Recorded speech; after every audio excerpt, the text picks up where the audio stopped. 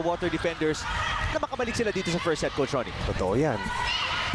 Jasmine Abor has been uh, a spectator after the Oo. fifth point ng ating unang set. Pero sa kanya naman, eh, I'm sure all she wants is to help her team win either sa loob o kung saan man siya ilagay ni Coach Roger Gurayev. Jamzon, tapik. Inangat ni Urdas. Kayuna, iahatid kay Soltones. Yes! Gretzel Soltones. Two straight points para sa water defenders. Tabla na naman tayo at 22 all. Eh, Kayo na heeding the call of Coach Roger Gurayev. Huwag mo masyadong itaas para hindi makapwesto yung mga blockers. And that was enough para kay Gretzel Soltones na maunang pumalo kaysa maka